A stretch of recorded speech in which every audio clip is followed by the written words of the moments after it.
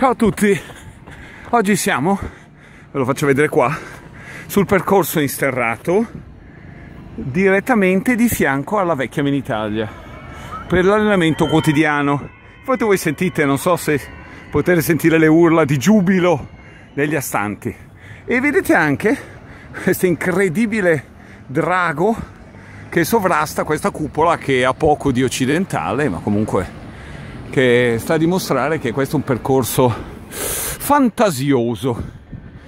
Sono tutti percorsi, mi raccomando, che vi faccio vedere per correre o in bicicletta, mountain bike, come sempre, oppure meglio a piedi per fare running.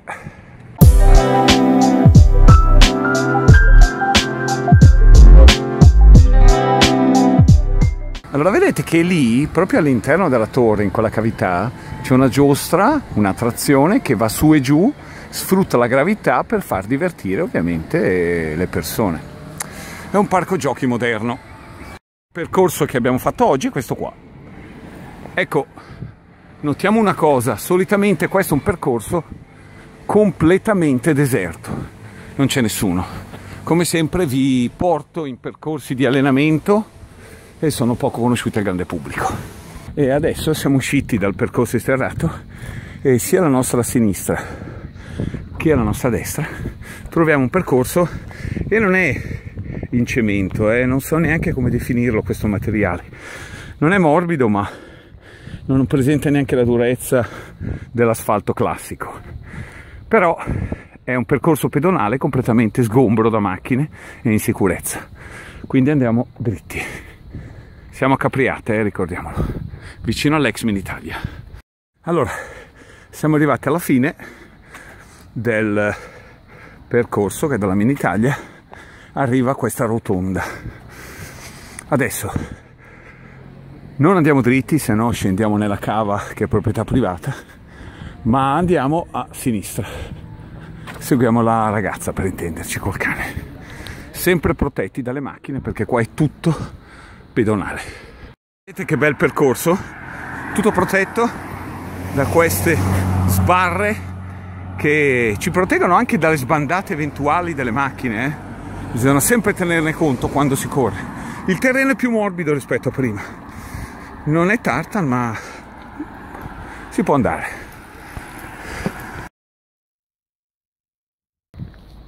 Sempre dritti, eh?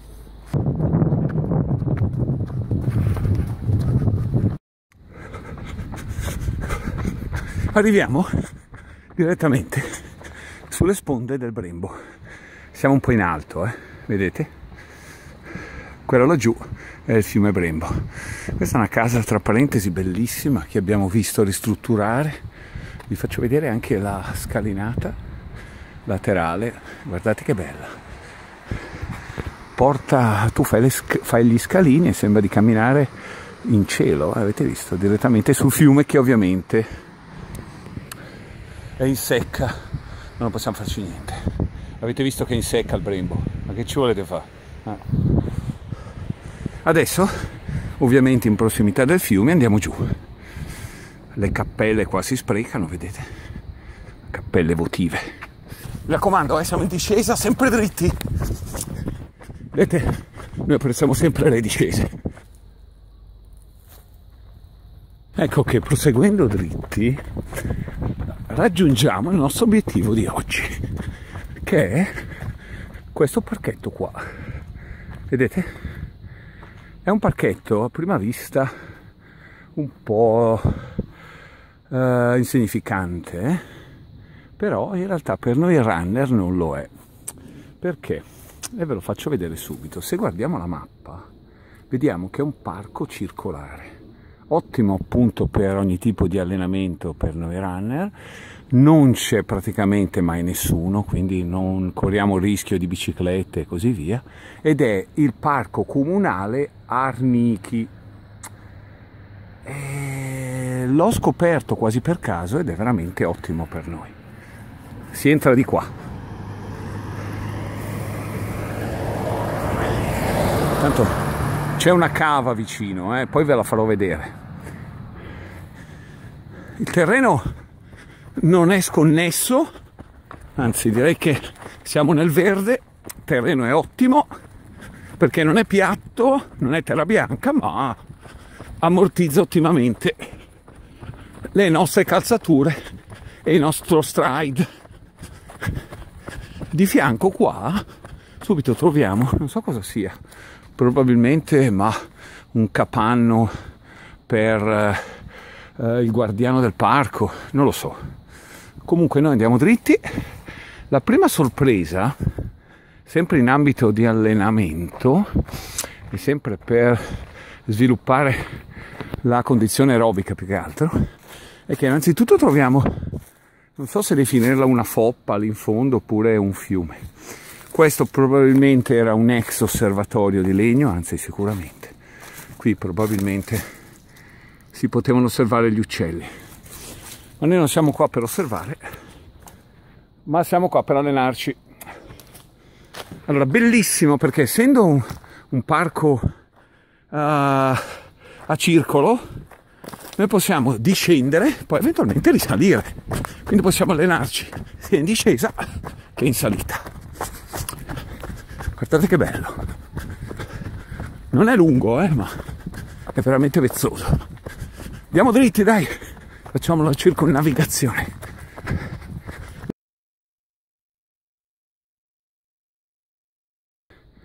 Guardate quanta legna che c'è, incredibile. Avere ancora il camino. Vabbè dai, però avete visto che bello. Allora, il, terreno adesso è, che dire, umido, però è ben compatto. Sembra una specie di valle, di conca come sempre non c'è anima viva, quindi ci possiamo allenare in tutta tranquillità, anche a torso nudo al limite.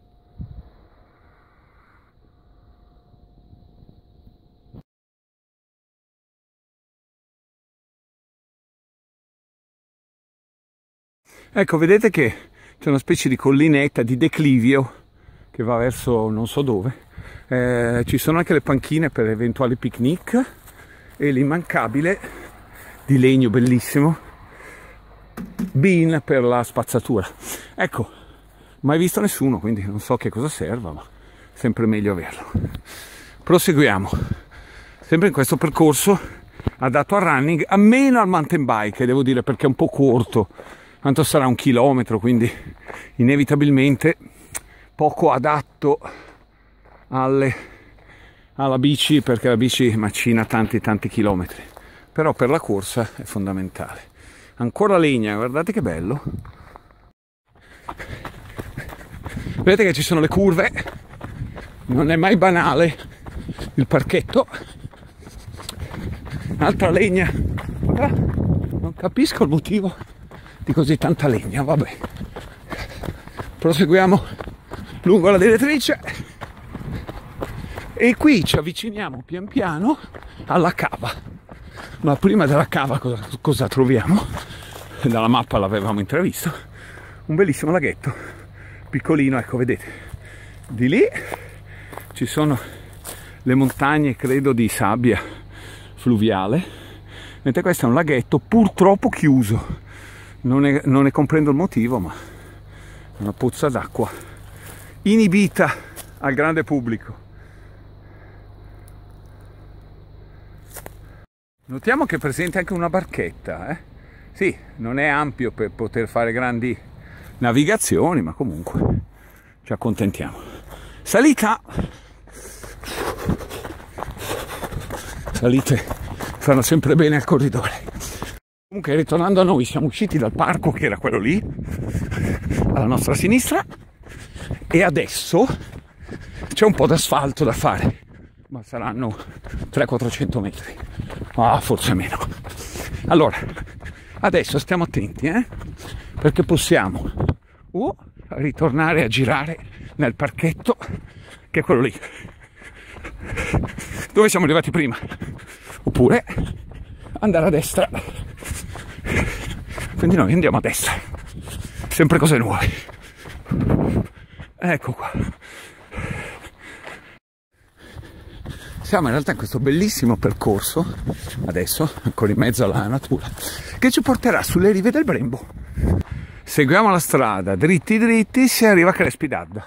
Niente di più semplice.